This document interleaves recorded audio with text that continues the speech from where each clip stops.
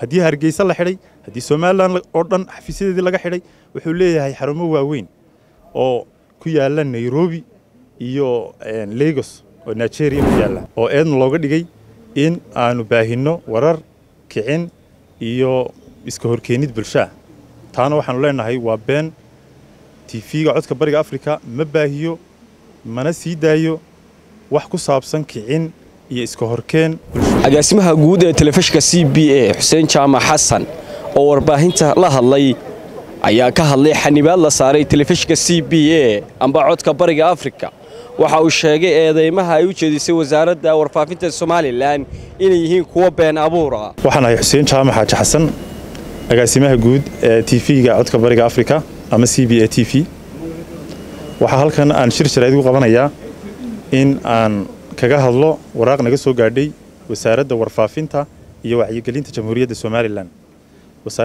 Waraaqdaas oo ku saxeexan yahay wasiirka waxa ay ku qornaa qodobo odhanaya in tv-ga c b a lagala noqday ruqsaddii lana xayiray sida ku qorayd taas oo aan leenahay taas iyagoo ku sababeeyey wasaaraddu ku sababaysay in tv-ga ruqsaddiisii dhacsan tahay taana waxaanu leenahay tv-ga ruqsaddiisu ma dhacsana ruqsaduhuna ma dhacaan waxa dhacaa waa cashuur. Tv-gana waa cashuurtiisi waa mid cashuuran oo wakti uga hadhsan yahay cashuurtii wakhtigu cashuurraa macal ruqsadna saa ku haysta weeye. Tv-ga codka bariga afrika waa tv laga aasaasay somalilan.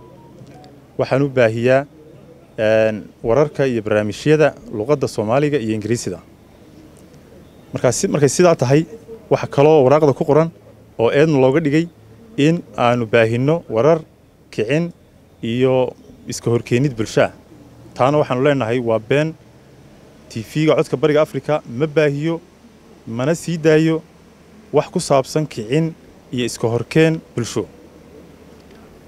Haddii aan eedna looga dhigayn in aanu baahinno waajibka saxaafadda ee ah in aanu dhinacyada oo dhan wararkooda baahinno taas ay ku jirto mas'uuliyiin dhinacyada kala duwan ee siyaasadda somalilan oo ay ku jirto dad shicibah oo kala duwan. Taasna aanu kala mid nahay tifiyada iyo warbaahinta ka shaqaysa somalilan. Waxaa kaloo aan halkan ku caddaynaynaa in tv-ga codka bariga afrika uu mar walba uu yahay tv ku dadaalaya in uu bulshada u soo gudbiyo warar xaqiiqa ah. Waa laga yaabaa inay dhaliil arkaan dhaliil kala duwan mucaarad la dhaliilayo mucaarad wax dhaliilaya dhinacyada kala duwan is dhaliilaya waana sunnaha siyaasadda adduunka saxaafadduna waa ku waajib inay dhan kasta ee warkiisa baahiso. Taasi markay sidaa tahay waxa aanu ceeb weyn u aragnaa in ay wasaaradii in ay soo qorto waraaq ay leedahay shirkad ganacsi ayaan kala noqonayaa ruqsad. Waxaanu garanaynaa ruqsad marka la helayo inta wadee loo maro. Wasaaraddaa la maraa ee ku shaqada leh waxaa la maraa wasaaradda ganacsiga waxaa la maraa xeer ilaalinta. Marka intaasoo dhan ay marto oo qofku uu ruqsad helo uu ku shaqeeyo uu shaqa abuuru sameeyo uu ku howlgalo ma aha wax fudud oo intuu wasiir soo qoro ama wasaaradii soo qorto ay odhan karto ruqsad baanu la noqonaynaa wax suuragalana ma aha aqbali karaynana ma aha taasi waxay ceeb ku tahay nidaamka dowladnimo ee soddon iyo kowda sano ka hana qaaday somalilan waxay ahayd haddii ay dacwad qabaan dacwad waa naga dacwoon karaan wasaaraddu cid kale way naga dacwoon kartaa laakiin waxay ahayd inay tagaan hay'adaha ku shaqada leh ee garsoorka. Inay tagaan oo gartayda halkaa lagu qaado oo aan halkaa dee lagu kala baxo. Laakiin somalilanna kamay dhicin adduunka meel kale ay ka dhacdayna ma jirto in ruqsad ganacsi si yaroo fudud oo bilaa maxkamada shirkad ganacsi la iska xidho. Marka waxaanu leenahay wasaaradda waxaan u soo jeedinaynaa inay arrinkaa ka noqoto ay waraaqda la noqoto ay raaligelin bixiso ay ogolaato in waddankan dastuurka u yaalla ee dimuqraadiga ah in sidiisa aynugu dhaqanno oo aynu warbaahinta xor noqoto oo ay xorriyatulqowlku uu noqdo mid ka turjumaya nidaamkan aynu qaadannay bulsho waxaan u sheegayaa in tv-ga codka bariga afrika oo ah t v ballaadhan oo luqado kala duwan ku hadla xarumo waaweyn leh in uu t v-gu yahay t v sii jiraya. T v aanay waraaqi xanibayn inuu barnaamijyada iyo wararka inuu baahinayo. Haddii hargeysa la xidhay haddii somalilan oo dhan xafiisyadeedii laga xidhay wuxuu leeyahay xarumo waaweyn oo ku yaalla nairobi iyo lagos oo nigeria ku yaalla.